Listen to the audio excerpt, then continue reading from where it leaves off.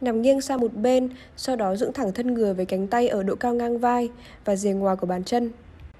Duy trì động tác và cảm nhận độ căng ở bụng cho tới khi đủ thời gian yêu cầu. Hít thở đều trong quá trình thực hiện bài tập.